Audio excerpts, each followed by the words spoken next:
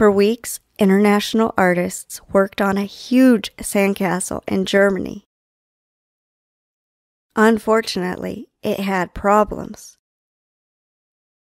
Parts of the castle came down after just one week, but the team decided to carry on. Visitors came to see the castle being built and judged by the Guinness World Record officials. The officials confirmed that the current record stood at 13.97 meters, and the new sandcastle measured in at 14.15 meters. However, there was a problem. The artists forgot parts of wood in the castle, which they used during the build.